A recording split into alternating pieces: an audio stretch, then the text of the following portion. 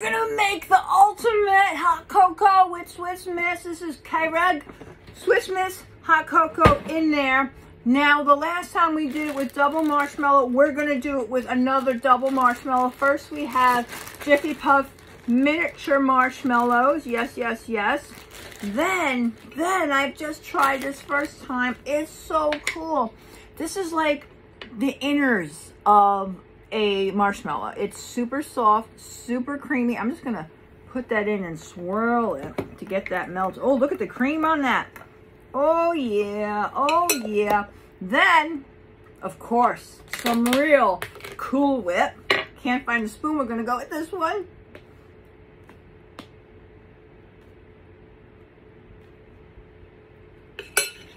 And, and it's Pride Month, so of course we've got unicorn sprinkles from Betty Crocker. Oh yeah, that's pretty. Okay.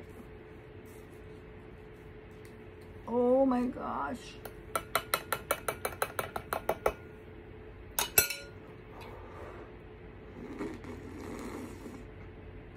Mmm.